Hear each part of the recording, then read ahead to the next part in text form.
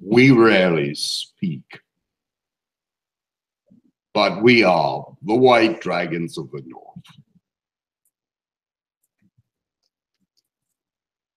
Do not be afraid, for we are not here for confrontational reasons. We are here to add our blessing to those that have given.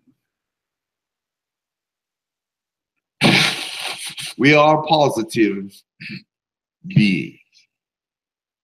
And although some may look at dragons as difficult to understand and difficult to realize what our purpose might be, we are here for your support. It is difficult for us to speak this way because there is some limitations in understanding this, but we will just tell you that our gift of prayer is forthcoming. Be well and God be with you. Thank you, much love.